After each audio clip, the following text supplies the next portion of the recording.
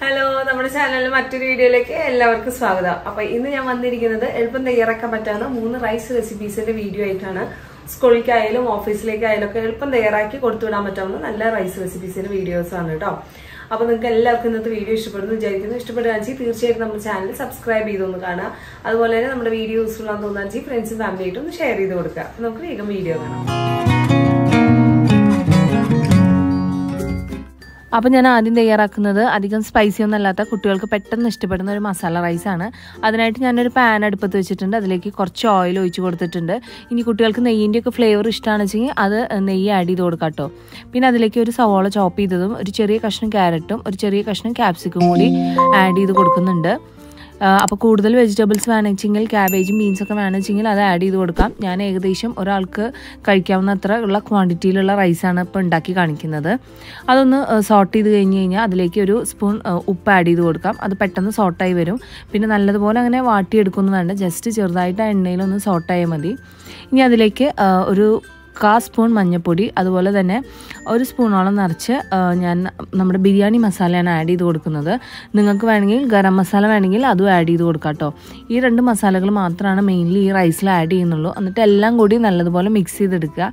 നല്ലതുപോലെ അത് മൂത്ത് കഴിഞ്ഞ് കഴിഞ്ഞാൽ ആ മസാലപ്പൊടിയുടെ പച്ചമണമൊക്കെ മാറി കഴിഞ്ഞ് കഴിഞ്ഞാൽ നമുക്ക് അതിലേക്ക് റൈസ് ആഡ് ചെയ്ത് കൊടുക്കാം കേട്ടോ. ഈ ബസ്മതി റൈസ് ഞാൻ വെറുതെ ജസ്റ്റ് ഒന്ന് വേവിച്ചെടുത്തിട്ടുള്ളൂ. അല്ലാതെ അതിൽ പട്ട ഗ്രാമ്പ് ഏലക്ക മസാലകളൊന്നും ആഡ് ചെയ്ത് കൊടുത്തിട്ടില്ല കേട്ടോ. ഈ റൈസ് വേവിച്ചിട്ട് നമ്മൾ തലേന്ന് ഫ്രിഡ്ജിൽ വെക്കുകയാണെന്ന് വെച്ചെങ്കിൽ പെട്ടെന്ന് തന്നെ രാവിലെ എണീറ്റിട്ട് ഉണ്ടാക്കാൻ പറ്റാവുന്ന ഒരു റൈസാണ് കേട്ടോ ഇത്. അപ്പോൾ നമ്മുടെ ചോറും കൂടി ആഡ് ചെയ്തിട്ട് നമ്മൾ നല്ലതുപോലെ അതൊന്ന് മിക്സ് ചെയ്ത് കൊടുക്കുക. പിന്നെ ഇനി നമ്മളിതിൽ സ്പൈസി ആവാൻ വേണ്ടിയിട്ട് നമ്മളിതിൽ ഒരു എരിവും ചേർത്തിട്ടില്ല. അതുകൊണ്ട് തന്നെ ഞാൻ കുറച്ച് കുരുമുളക് പൊടി ആഡ് ചെയ്ത് കൊടുക്കുന്നുണ്ട്. നമ്മളുടെ ഒരു ടേസ്റ്റിനും ഫ്ലേവറിനും അനുസരിച്ച് ആഡ് ചെയ്ത് കൊടുക്കാം കേട്ടോ.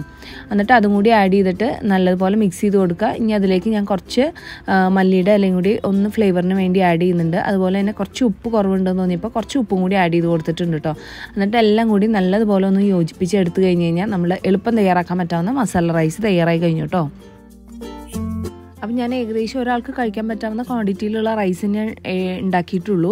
അപ്പോൾ ഇത് സ്കൂളിലേക്കായാലും ഓഫീസിലേക്കായാലും പെട്ടെന്ന് തയ്യാറാക്കാനും അതുപോലെ തന്നെ കറികളൊന്നുമില്ലാതെ എളുപ്പം കഴിക്കാൻ പറ്റാവുന്ന ഒരു റൈസ് റെസിപ്പിയാണ് അപ്പോൾ എല്ലാവർക്കും ഈ മസാല റൈസ് ഇഷ്ടപ്പെട്ടു എന്ന് വിചാരിക്കുന്നു. ഇനി നമുക്ക് അടുത്ത റൈസ് ചെയ്താൽ നോക്കാം. അടുത്തത് ഞാൻ തയ്യാറാക്കുന്നത് ക്യാരറ്റ് റൈസ് ആണ്. അതെന്ന് പറഞ്ഞു കഴിഞ്ഞാൽ ഇതിനേക്കാൾ എളുപ്പത്തിൽ നമുക്ക് തയ്യാറാക്കാൻ പറ്റും കേട്ടോ അതിനായിട്ട് ഞാനൊരു പാൻ അടുപ്പത്ത് വെച്ചിട്ടുണ്ട്. അതിലേക്ക് ഞാൻ കുറച്ച് ഹോൾ സ്പൈസസ് ആഡ് ചെയ്ത് കൊടുക്കുന്നുണ്ട്.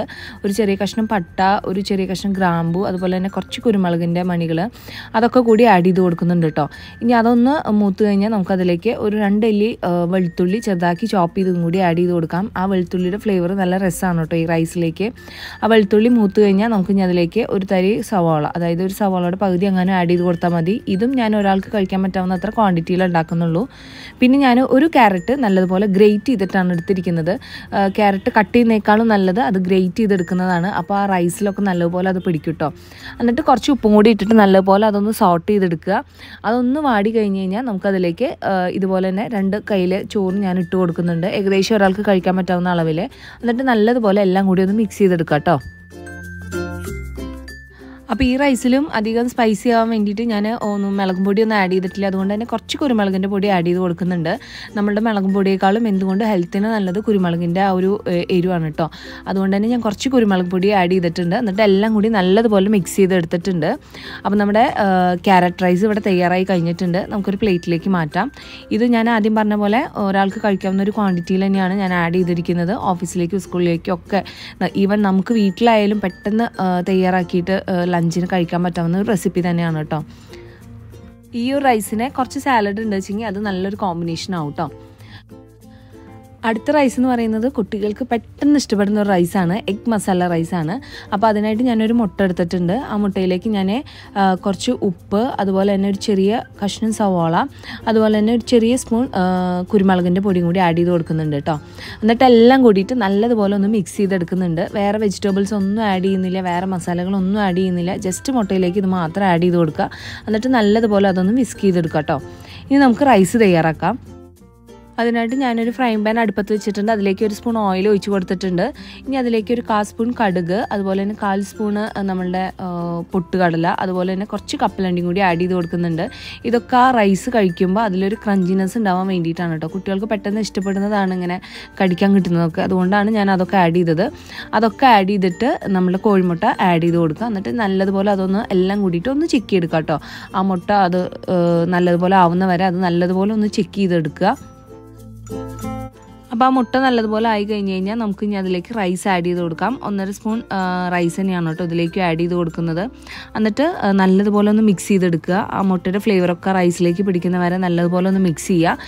എരിവിനായിട്ട് കുറച്ച് കുരുമുളകിന്റെ പൊടി തന്നെയാണ് ഞാൻ ഇതിലേക്ക് ആഡ് ചെയ്ത് കൊടുത്തിരിക്കുന്നത്. ഇനി ഈ സമയത്ത് നമുക്ക് ടേസ്റ്റൊക്കെ നോക്കാം. ഉപ്പൊക്കെ കുറവുണ്ടെങ്കിൽ ഉപ്പ് കുറച്ച് ആഡ് ചെയ്ത് കൊടുക്കാം കേട്ടോ.